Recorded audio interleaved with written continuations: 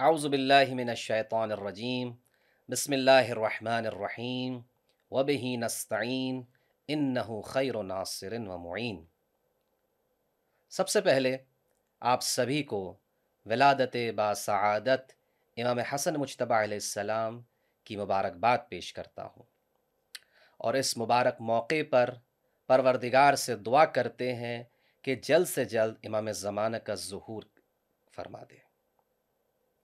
पैगंबर इस्लाम हज़रत महमद अलैहि वसल्लम से एक हदीस है। अलहसन वलहुसैन इमामान कामा व कादा। इस हदीस का ज़ाहरी माना जो लगत में बयान किया क़याम और क़ूद को मद्दनज़र रखते हुए, वो ये है कि इमाम हसन और इमाम हसन और इमाम हुसैन अलैहिस्सलाम दोनों इमाम हैं। चाहे ये इमाम खड़े हुए हों या बैठे हुए हों। आए, इस हदीस को थोड़ा और समझने की कोशिश करते हैं कि किस कॉन्टेक्स्ट में पैगंबर इस्लाम हदीस इरशाद फरमा रहे हैं। क्योंकि हमें ये जानना ज़रूरी है कि इस हदीस को लेकर शिया एक ऐसा एतक़ाद और एक ऐसा बिलीफ रखते हैं अपने पास कि जो उनको और मजाहब और और दिगर सेक्ट से अलग करता है।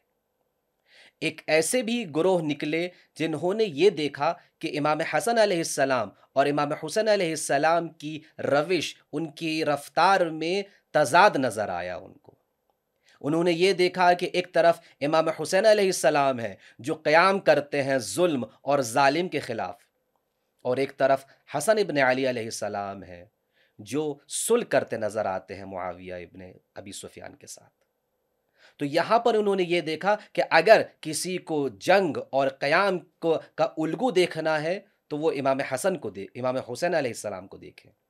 और किसी को अगर इमाम हसन की सीरत पर अमल करना है तो उसे सुलह का रास्ता इख्तियार करना पड़ेगा। ये तजाद वो ज़ाहिरी तौर पर देखते हुए एक ऐसे अकीदे की तरफ़ आए कि जो बातिल है।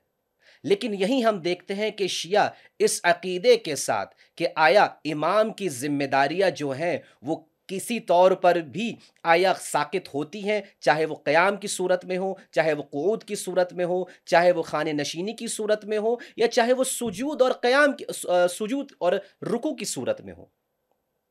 हम ये देखते हैं कि इमाम इमाम है, चाहे उनके हाथ, इनके हाथों में ज़ाहिरी हुकूमत की बागडोड़ हो या ना हो।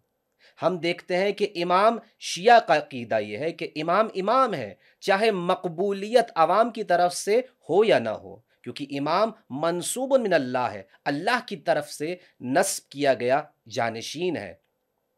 तो ये अकीदा हमें बयान करता है पैगंबर इस्लाम की हदीस के मद्देनज़र रखते हुए। हम ये समझते हैं कि इमाम आसमाम इमाम हसन आसमाम भी वही कारनामा अंजाम दिया जो इमाम हुसैन ने अंजाम दिया। इमाम हसन आसमाम अगर इमाम हुसैन आसमाम के ज़माने में होते तो वो भी क़याम करते यजीद के ख़िलाफ़। और इमाम हुसैन आसमाम इमाम हसन आसमाम के ज़माने में होते तो वो सुल करते नज़र आते। वसलम वरहमल वर्का